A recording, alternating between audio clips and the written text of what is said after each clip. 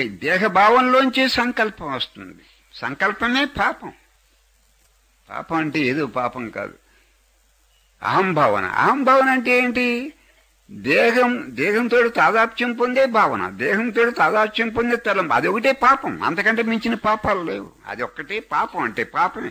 దాన్ని చిడివేస్తే నువ్వు నీకు బ్రాహ్మీ స్థితి నీకు బ్రాహ్మీ స్థితి కలుగుతుంది. అక్కడ సిలువేయబడ్డాడు యేసు. అక్కడ శరీరాన్ని సిలివేయటం కాదు. ఆ అహంభావాన్ని దేహ భావాన్ని ఎవడైతే సిలివేసుకున్నాడో ఎవడైతే వాడికి సిలువ వేయబడింది ఆ భావన?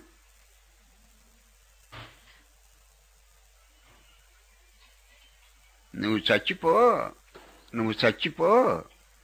You must die. చచ్చిపో. ఈ మస్ట్ డై. నువ్వు చచ్చిపో చచ్చిపో నా మనస్సుని అడిగితే చచ్చిపోతుందా? You must die you die చచ్చిపో చచ్చిపో అని ఒకవేళ నీకు ఎప్పుడన్నా కోపం వచ్చి మీ భార్య నువ్వు చచ్చిపో ఆవిడ చావదు ఎదురు తిరిగి తిడుతుంది పట్టుకుని. అయితే విడాకులు ఇచ్చేస్తుంది.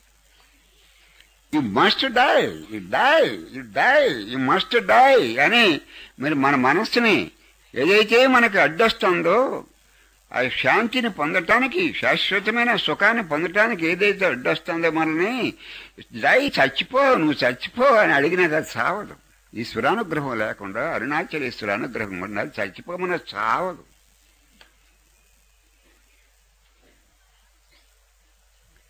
అదే భగవాన్ చెప్పారు. ఏనుగు ఎవరికీ లొంగదు. ఏనుగు ఎవరికి జంతువుల్లో చాలా పెద్ద ఎలిఫెంట్ పెద్దది ఎలిఫెంట్ జంతువుల్లో చాలా పెద్ద స్వరూపం. ఏనుగు ఎవరికి జడవదు. ఒక సింహానికి తప్పించు. అలాగే నీ మనస్సు అనేది ఏనుగు లాంటిది. నీ మనస్సు అనేది ఏనుగు లాంటిది. గురువు అనుగ్రహం సింహం లాంటిది. ఈ ఏనుగు సింహానికి లొంగుతుంది కానీ మరొక రకంగా లొంగదు. అంచేత ఏనుగనే ఈ అహంభావనకి దేహభావనకి వ్యక్తి భావనకి ఆ గురువు అనుగ్రహం అనే సింహం లంఘించి దాన్ని తొలగించగలం కానీ మరొక మార్గం లేదన్నాడు. అంచేత గురువు అనుగ్రహం లేకుండా ఈశ్వరానుగ్రహం లేకుండా శాస్త్రం యొక్క అనుగ్రహం లేకుండా మనకు ఆత్మజ్ఞానం లభ్యం కాదు. మీరు ఒక చాలా గట్టి కార్డులని మీరు అనుకున్నా